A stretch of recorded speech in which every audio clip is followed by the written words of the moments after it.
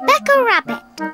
It is the end of another lovely day. Peppa and George are playing with their friends, Rebecca and Richard Rabbit. Home time, my little bunnies. Oh, but we want to play some more, Mummy. Maybe tomorrow. Can Peppa and George come to our house tomorrow? Yes. Hooray!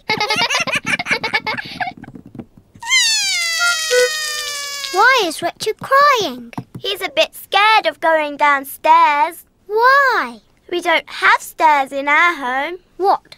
No stairs? That's right. You'll see tomorrow. Bye-bye. Bye-bye.